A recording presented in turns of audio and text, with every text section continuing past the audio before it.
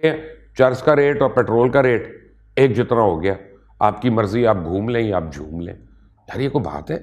इस वक्त इमरान खान के इर्द गिर्द लोगों पे नज़र डालें और बताएँ अगर आपको वीडियो का मेन हिस्सा देखना है तो इतना वीडियो स्किप करो और सीधे वीडियो के मेन भाग पर पहुंचो।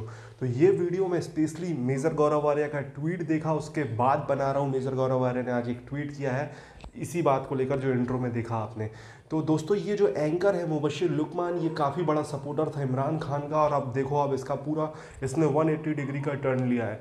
तो चलिए दोस्तों, पहले पूरा वीडियो देखते हैं, फिर वीडियो के अंतिम भाग में करते हैं। तरकीब है वजीरों की फ़ील्ड प्लेसिंग बदली गई। एक को उठा के, दूसरी जगह उठा के, और फिर पहली जगह उठा के वापस लगा दिए गए। बदला कुछ नहीं। हर रोज़ ब्यूरोक्रेसी को एक जगह से उठा के, दूसरी जगह एक आईजी को उठा के, तीसरी जगह उसकी जगह नया आईजी एक चीफ सेक्रेटरी की जगह पहला, फिर दूसरा। हालात मजीद बदतर होते चले गए। अब चर्चे हो रही हैं कि सिस्टम ठीक नहीं है, क्योंकि ऊपर का बंदा ठीक है। पहले तो बात होती थी कि बंदा ठीक नहीं है तो सिस्टम क्या करे। अब बात हो रही है, नहीं, सिस्टम ही ठीक नहीं तो बंदा क्या करे। ये पार्लिमानी निज़ाम ही ठीक नहीं है। प्रेसिडेंशियल फॉर्म ऑफ़ गवर्नमेंट लाना चाहिए, सदारती निज़ाम लाना चाहिए, सिस्टम बदलने की ज़रूरत है। कोई है जो इनसे पूछे कि भाई, पहले जो तुमने कुछ बदला, उसका रिज़ल्ट क्या आया? किसी डॉक्टर से बाईपास करवाने की रजामंदी उस वक्त दी जाती है जब वो पहले कई कामयाब ऑपरेशन कर चुका होता है। यहाँ तो क्रेडिट में तबाही के अलावा है ही कुछ नहीं। मेरा सवाल यह है कि अब सिस्टम जो भी हो, काबिल लोग कहाँ से लाएँगे? आपकी काबिलियत तो कौम ने देख लिया जनाब इमरान खान साहब, क्या चाइना, जापान, बरतानिया, अमरीका और जर्मनी सब एक जैसे निज़ाम से चल रहे हैं? नहीं। किसी का सदारती है, किसी का पार्लिमानी है, किसी का आमराना है, लेकिन तरक्की सब कर रहे हैं। क्योंकि उन्होंने अपने माशरे और मुल्क की जड़ें खोखली करने वालों का खात्मा किया, वो कन्फ्यूज़ नहीं है कि उन्होंने क्या करना है। उनको पता है कि उनकी मंजिल क्या है। और उनकी एबिलिटी भी है, उनमें कैपेसिटी भी है।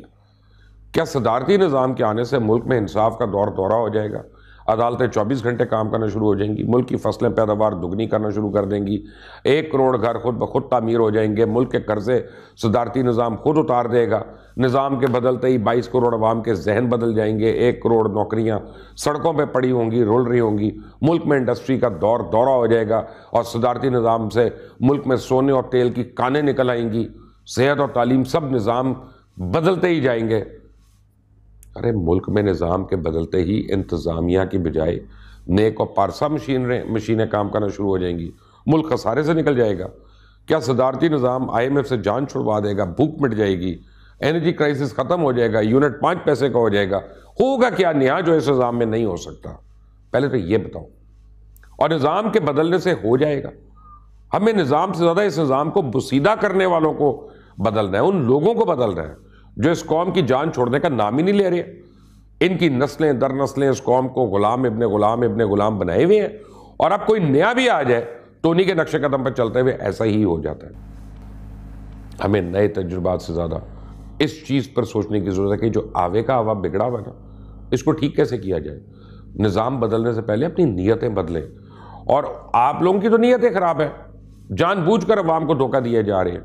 इस वक्त मुल्क की मीशत, इंतज़ामिया, हकूमत, इंसाफ, तालीम, सेहत समेत किसी भी शोबे पर नज़र डालें, किसी भी अच्छी खबर की बजाय डिप्रेशन हो जाती है। लेकिन इस मुल्क में कोई अच्छी खबर हो ना हो, अच्छी खबरें देने वालों की एक लंबी लाइन लगी हुई है। मैं आपसे ये कहूँ ना कि पाकिस्तान की मीशत 2022 में अमरीका, जर्मनी और बरतानिया से ज़्यादा तरक्की करेगी तो आप सेकंड कर सोचेंगे कि यार ये पागल हो गया। ये ये क्या बातें कर रहा है? कहीं इसने वो अली अमीन गंडापुर वाला शहद तो नहीं पी लिया, ये इसका दिमाग तो नहीं घूम गया? अगर आप ये ना भी सोचें तो यकीनन इस बात पर तो आप यकीन नहीं करेंगे ना।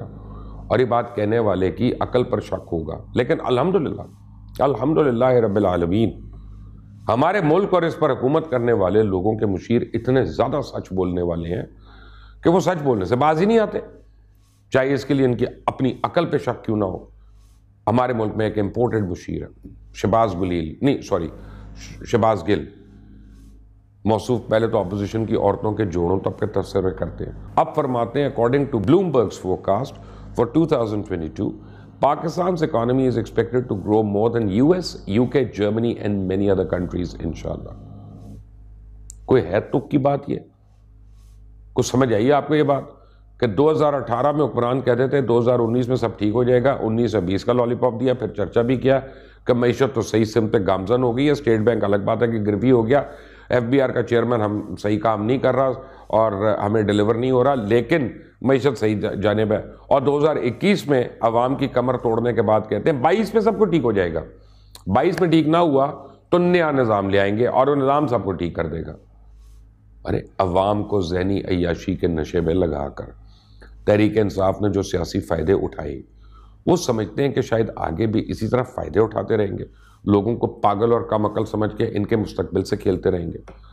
अगर कोई किसी रिक्शे के पीछे एफ़ सिक्सटीन लिख दे तो क्या वो एफ़ सिक्सटीन बन जाता है? वो उड़ता ही रहेगा। वो मिसाइल मारना शुरू हो जाएगा। नहीं भाई, वो रिक्शा ही रहेगा। और दूसरी चीज़, वो कौन सा इनका कारनामा है जिसकी बुनियाद पे इनकी किसी एक बात, किसी एक दावे, किसी एक वादे पे यकीन किया जा सके?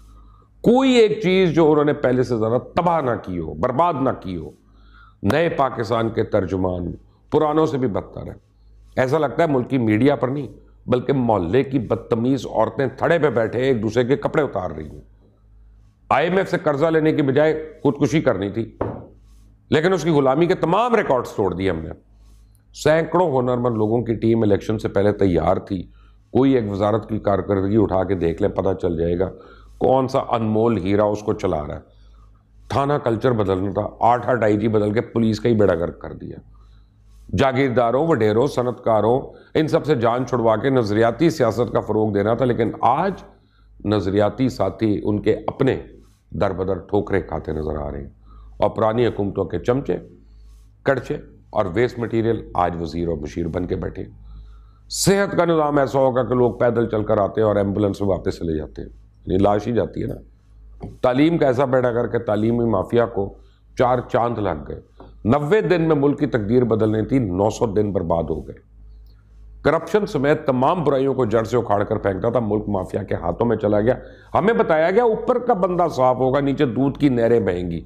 और फिर देखा गया कैसा बोसीदा निज़ाम के बोसीदा खिलाड़ी उसी काफिले का हिस्सा बन गए। बैरूनी कर्जे ख़त्म करने थे, हमने डबल कर दिए। एहतसाब करना था, कौम की एहतसाब की ख्वाहिश ही ख़त्म हो गई है। लूटी हुई दौलत वापस लानी थी, उल्टा ब्रॉडशीट को 28 मिलियन डॉलर के जुर्माने देने पड़ गए। डॉलर को रुपए के मुकाबले में टके टोकरी करना था, डॉलर ने रुपए को टके टोकरी कर दिया। अमेरिका को लगाम डाल दी थी, अमेरिका ने हमें ऐसी लगाम डाली कि हम बाइडन के एक फ़ोन का एक साल से इंतज़ार करें, फ़ोन की घंटी बजती नहीं है। साइकिल पे प्राइम मिनिस्टर ने वज़ीर आज़म हाउस आना था, लेकिन हेलीकॉप्टर चुन लिया गया। गवर्नर हाउस की दीवारें करानी थी वज़ीर आज़म हाउस को यूनिवर्सिटी में बदलना था। उसका नाम लेते हुए भी आप हुक्मरान कतराते हैं। पूरी कौम को जहनी अयाशी के ऐसे तस्वराती ख्याल में फंसाया गया कि वो आज तक उसी नशे में झूमती फिर रही है। अब कहते हैं, चर्च का रेट और पेट्रोल का रेट एक जितना हो गया। आपकी मर्ज़ी, आप घूम लें या आप झूम लें। यार, ये कोई बात है? इस वक्त इमरान खान के इर्द गिर्द लोगों पर नज़र डालें। और बताएँ, कोई भी एक तजर्बाकार सियासी मुदब्बर या मामला फहम वाला बंदा साथ खड़ा है उनके, जो थे उनमें से आधे ज़्यादा छोड़ के चले गए और जो रह गए हैं वो जाने की तैयारी में हैं। और जो सबसे चहीते हैं, वो मुल्क तो क्या इमरान खान की भी नहीं सुन रहे और सिर्फ़ अपने फ़वाद के लिए पार्टी की जड़ें काट रहे हैं। एक दूसरे से लड़वा रहे हैं और इमरान खान को तनहा करके खुद इमरान खान की जगह लेने की मनसूबाबंदी कर रहे तीन लोग ऐसे हैं। इस वक्त पाकिस्तान तरीके साहब में तीन लोग ऐसे हैं जो मुसलसल इस्टेब्लिशमेंट की मिनत समाजत कर रहे कि इमरान को अगर हटाना है तो हमें उनसे रिप्लेस कर लो। और ये बातें सबके सामने हैं। मैं कोई नई बात नहीं कर रहा। बहरहाल, लुब्बे लुबाब यह है कि जो एक निज़ाम नहीं चला सके, उससे कैसे उम्मीद की जा सकती किसी और निज़ाम को चलाने की काबिलियत रखता है? और जिस चीज़ का मैंडेट दिया गया था, उसी तक महदूद रहे। कौम के साथ मजीद मज़ाक की बिल्कुल गुंजाइश नहीं है। ये तो मेरे तासुरात थे। आप मुझे अपना दोस्तों, ये वीडियो यहाँ पर होता है खत्म। आपने देखा, मैं ये मुबशिर लुकमान किस तरीके की बात कर रहा था इमरान खान को लेकर? मैं आपको बताना चाहता हूँ, इमरान खान की जब कैंपेनिंग स्टार्ट हुई थी, या इमरान खान के एक दो साल थे जो स्टार्टिंग के, वो आप देखेंगे तो इसका व्यू आप देखिएगा, बिल्कुल मतलब डिफरेंट था ये प्रो इमरान था और काफ़ी बड़ा सपोर्टर था। लेकिन अब मैं देख रहा हूँ पाकिस्तानी मीडिया में धीरे धीरे इमरान खान के खिलाफ पाकिस्तानी एंकर बोलने लगे हैं और कुछ एंकर्स बड़े बड़े एंकर्स नजम सिटी जैसे लोगों ने तो ये तक बात कर दी है कि इमरान खान का जाना अब तय है। अब इमरान के कंधे में बंदूक रख के पाकिस्तान आर्मी ऐसे डिसीज़न लेगी जिससे कि मान लीजिए आप देख सकते हो, एक अभी कुछ दिन पहले खबर आई थी कि 100 साल तक भारत से हम जंग ना करेंगे। मतलब पाकिस्तान आर्मी इस तरीके के फैसले इमरान खान के कंधे पर बंदूक रख के करेगी डेफिनेटली जिससे कि पूरा का पूरा जो मतलब नुकसान हो वो इमरान खान को और इमरान खान के फ्यूचर को और इमरान खान पर एक कलंक लग जाए कि इस तरीके के फैसले इमरान खान के दौर पर हुए हैं। मेरे हिसाब से तो मेरा एनालिसिस ये है। गाइज़ आपको बता दूँ कि 100 साल तक पाकिस्तान की आर्मी ने अगर जंग ना करने का फैसला लिया है तो ये बहुत सराहनीय है और इसके मतलब इसकी प्रशंसा होनी चाहिए क्योंकि ये कदम बहुत बड़ा है। लेकिन आप पाकिस्तान पर बिल्कुल भी विश्वास नहीं कर सकते क्योंकि पाकिस्तान आर्मी तो जंग लड़ती नहीं है ना। आपने देखा कि ये तो अब सीधा इनका जो है मुजाहिद, जो टेररिस्ट भेजते हैं, बम सुसाइड बम्बर या अटैक करने वाले, उनको ट्रेनिंग दे देकर ये घुसेड़ते हैं। और आपको भी पता है किस तरीके से वो हमला करते हैं। ये सामने से जंग तो लड़ते नहीं है। तो ये भी कसम खाएँ कि सौ साल तक हम कश्मीर में भी ये जो मुजाहिदीन या जो भी इनको बोलते हैं, मैं एक्चुअल में करेक्ट वर्ड बोल नहीं पा रहा हूँ, जो भी बोलते हैं आतंकवादी, इनको ये भेजना बंद करें।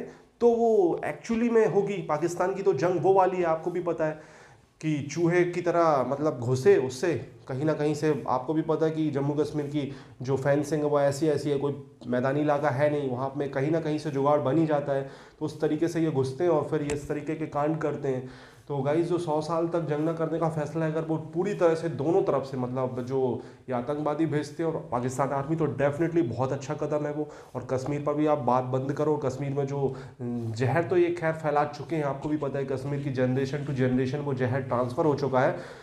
लेकिन अब देखते हैं इन फ्यूचर होता क्या है, लेकिन पाकिस्तान पर अब बिल्कुल भी विश्वास नहीं कर सकते हो। वो सौ साल तक की जंग की बात करेंगे और दूसरे दिन करा देंगे ब्लास्ट कारगिल आपको याद होगा सियाचिन आपको याद होगा, इसी तरीके के ये कांड करते रहे। गाइज़ अब रही बात पाकिस्तानी एंकर मुबशिर लुकमान या पाकिस्तान के बहुत सारे एंकर हैं, देखिएगा आप उनका बिल्कुल इसी तरीके का बदला बदला रूप आएगा कि वो बिल्कुल अलग अलग तरीके की बात करने लगेंगे और वो सीधा, सीधी सी बात है कि वो अब मतलब इमरान खान जाते हुए लग रहे तो वो इमरान खान का खिलाफ बोलना शुरू हो गए। तो वीडियो खत्म होता है प्लीज़ चैनल को सब्सक्राइब करिए, वीडियो को लाइक करिए कॉमेंट में